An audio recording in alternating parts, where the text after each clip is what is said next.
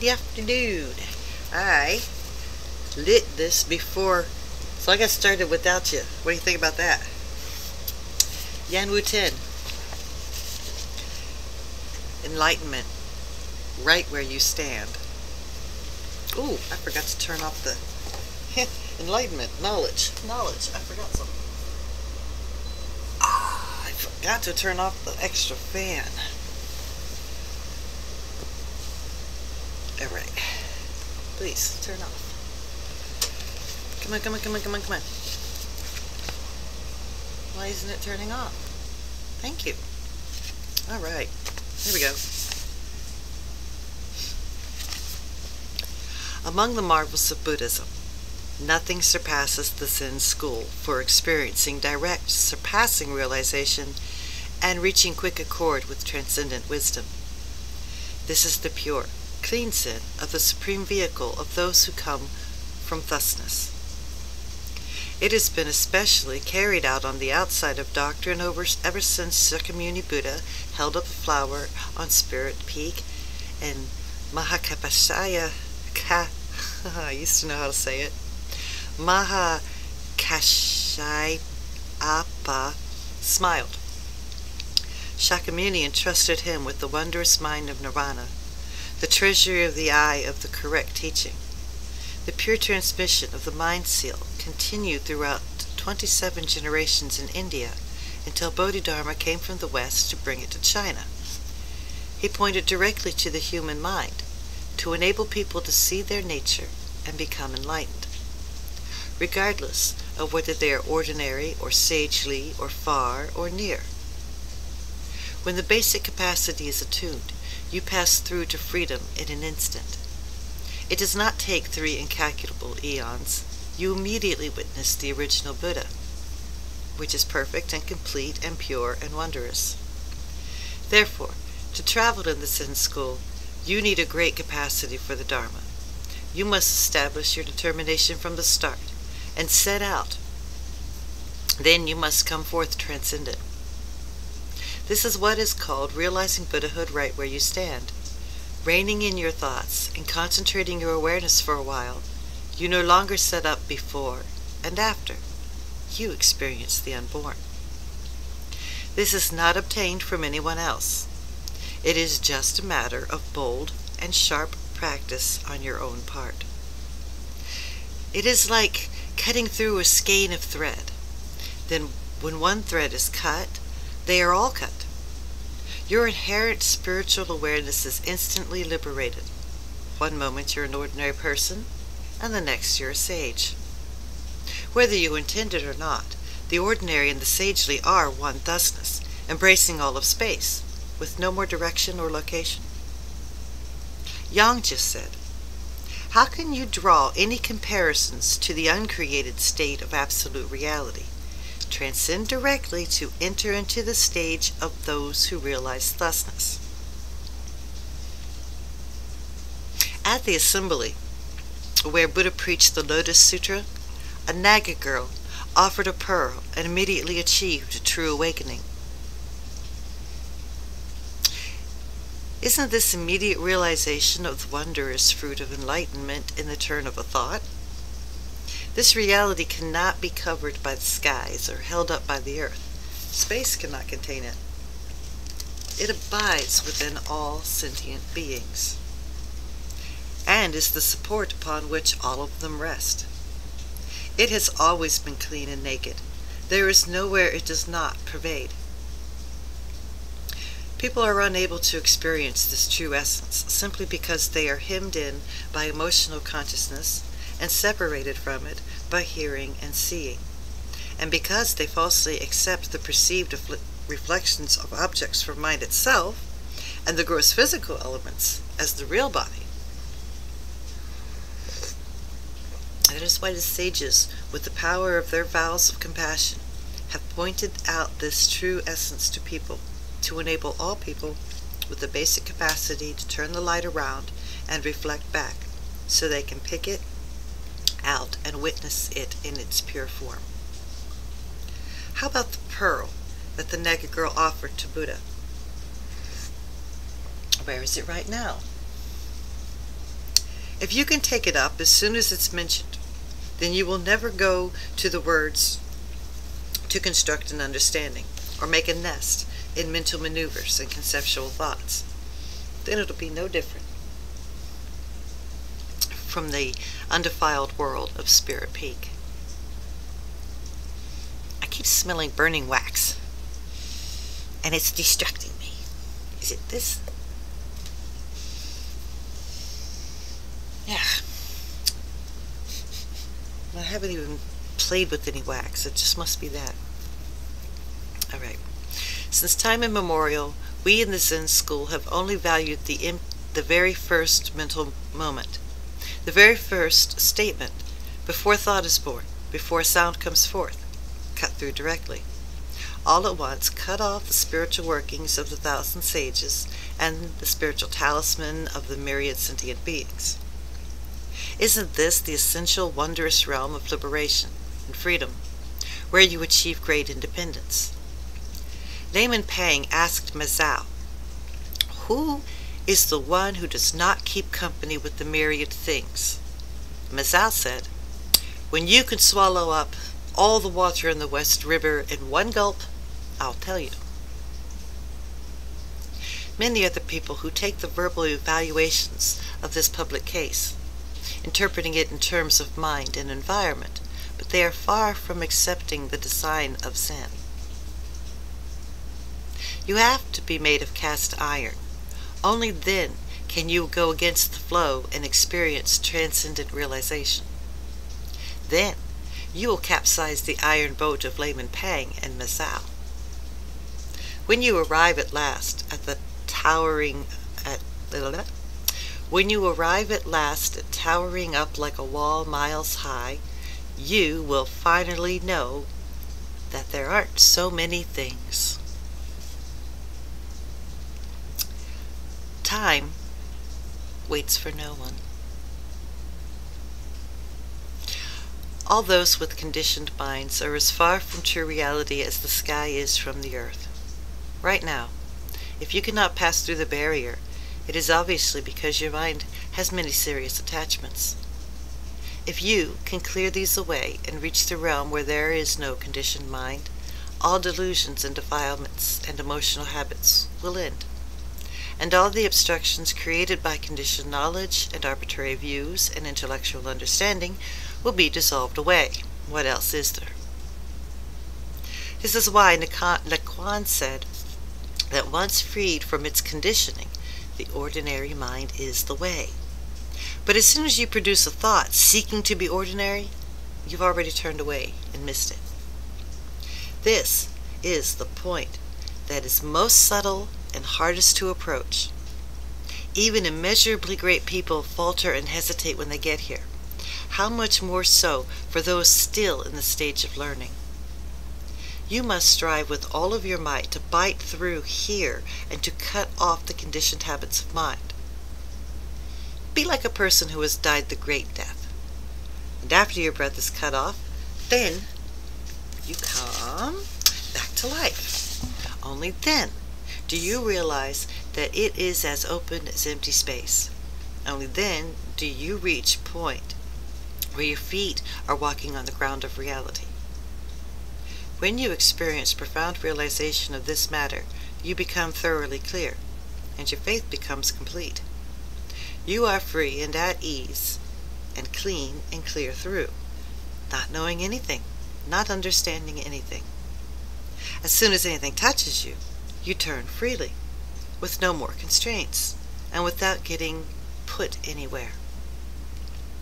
When you want to act, you act, and when you want to go, you go. There is no more gain or loss, or affirmation or denial. You encompass everything from top to bottom, all at once. How could it be easy to carry into practice, or even to approach this realm where there is no conditioned mind? Or how could it be easy? you, you must be a suitable person to do so. And if you are not yet like this, you must put aside mind and body and immerse yourself in silent reflection until you are free from the slightest dependency. Keep watching, watching, as you come, as you go. After a long time, you will naturally come to where to cover heaven and earth, so that true reality appears ready-made wherever you touch. Before there was a natural born Shakyamuni Buddha, before there was a sponta- there was a spontaneously so Maitreya Buddha, who was it who understood while still in the womb? You must be quick to focus your energy. Time does not wait for people.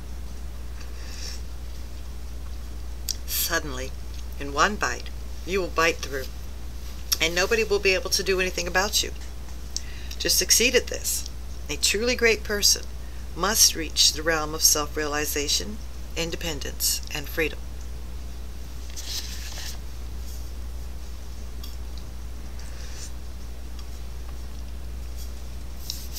Make enlightenment your standard. Fundamentally, this great light is there with each and every person right where they stand. Empty, clear through, spiritually aware, all pervasive. It is called the scenery of the fundamental ground. Sentient beings and Buddhas are both inherently equipped with it. It is, perf- is perfectly fluid and boundless, fusing everything within it. It is within your own heart and is the basis of your physical body and of the five clusters of form, sensation, conception, motivational synthesis, and consciousness. Has never been defiled or stained. And its fundamental nature is still and silent. False thoughts suddenly arise and cover it over and block it off and confine it within the six sense faculties and sense objects. Sense faculties and sense objects are paired off, and you get stuck and begin clinging and getting attached. If you grasp at all the various objects and scenes and produce all sorts of false thoughts and sink down into the toils of birth and death, unable to get liberation. Put an if in there that didn't belong in there. Just, right? Hmm. All the Buddhists and ancestral teachers awakened to this true source and penetrated clear through to the fundamental basis. They took pity on all the sentient beings sunk in the cycle of birth and death, and were inspired by great compassion. So they appeared in the world precisely for this reason. It was also for this reason that Bodhidharma came from the West, with a special practice outside of doctrine. The most important thing is for people of great faculties and sharp wisdom to turn the light of mind around and shine it back, and clearly awaken to this mind before a single thought is born. This mind can produce all world transcending and worldly phenomenon. When it is forever stamped with enlightenment, your inner heart is independent and transcendent and brimming over with life. I'm sorry. When it is forever stamped with enlightenment, your inner heart is independent and transcendent and brimming over with life.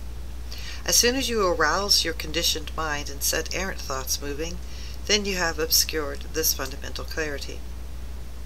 If you want to pass through easily and directly, right now, just let your body and mind become thoroughly empty, so it is vacant and silent yet aware and luminous. Inwardly, forget all your conceptions of self, and outwardly, cut off all sensory defilements.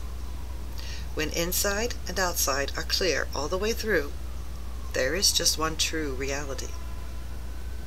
Then eyes, ears, nose, tongue, body, and conceptual mind, form, sound, smell, flavor, touch, and conceptualized phenomenon, all of these are established based on that one reality.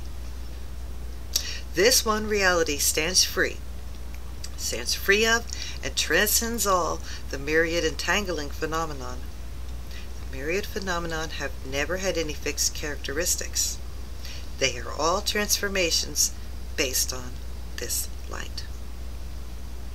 If you can trust in this oneness, then one comprehend. If you can trust in this oneness, then with one comprehended, all are comprehended. And with one illuminated, all are illuminated. Then, in whatever you do, it can all be indestructible true essence of great liberation from top to bottom. You must awaken to this mind first, and afterward cultivate all forms of good. Haven't you seen this story? The renowned poet Bo Yi asked the bird, bird's nest monk, What is the way? The bird's nest monk said, Don't do any evils, do all forms of good. Bo Yi said, Well, even a three year old could say this. And the bird's nest monk said, Though a three year old might be able to say it, an 80 year old might not be able to carry it out. Thus, we must search out our faults and cultivate practice. This is like the eyes and feet depending on each other. If you are able to refrain from doing any evil and refine your practice of the many forms of good, then only if you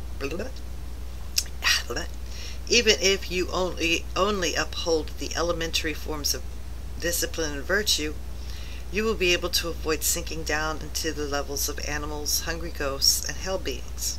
Alright, so let's hold on then. lost our total consciousness on that.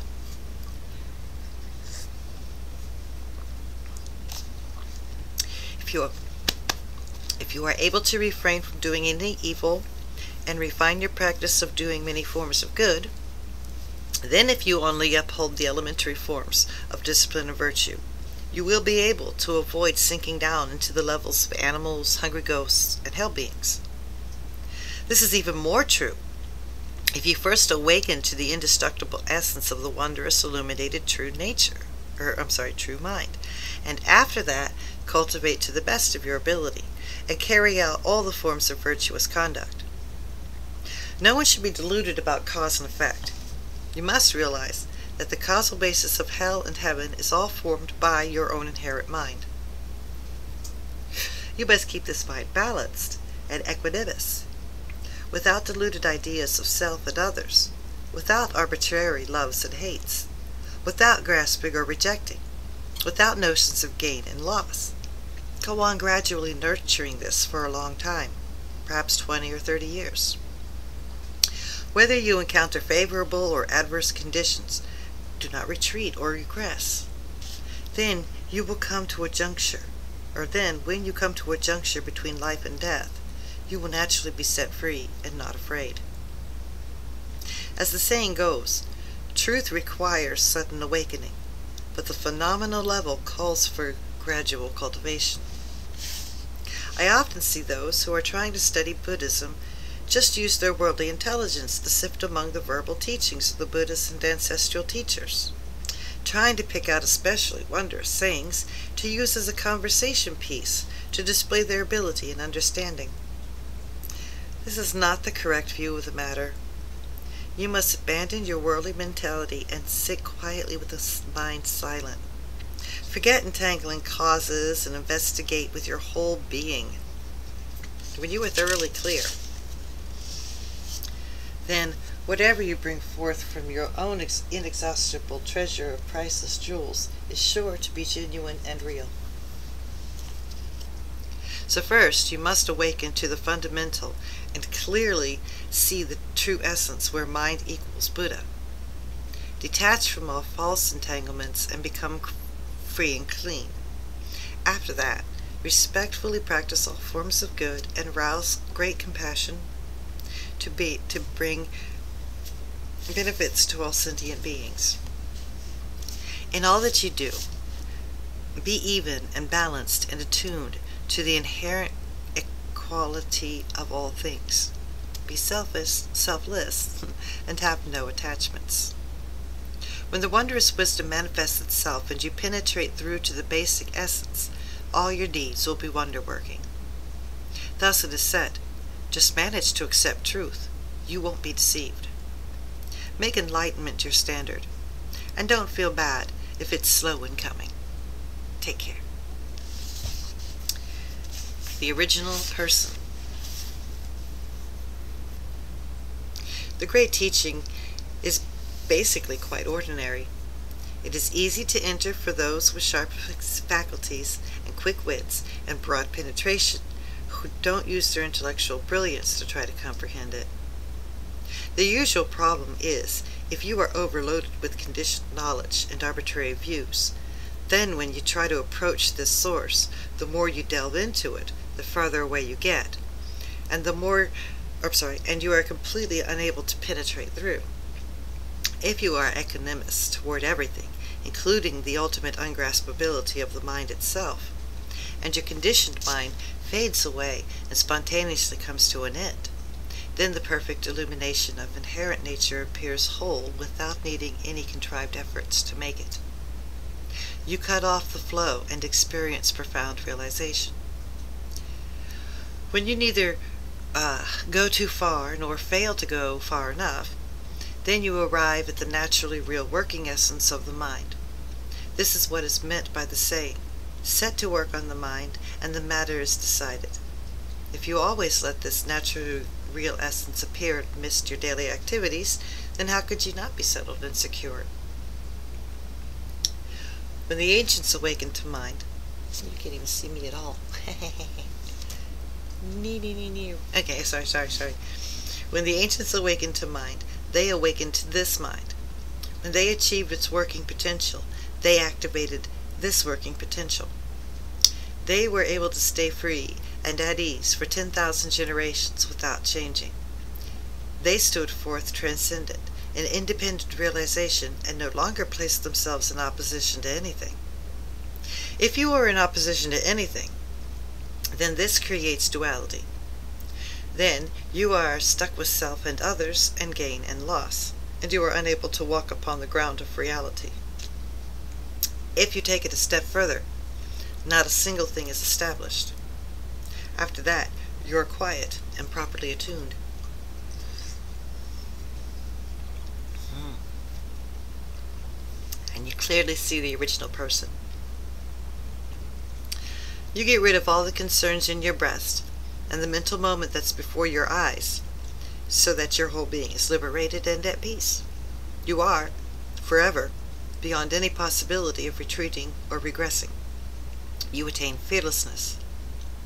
And, with expedient means based on this fearlessness, you can rescue sentient beings. You must continue to be this way without interruption, forever. This is the best. And that is to this is this time. See you in a minute.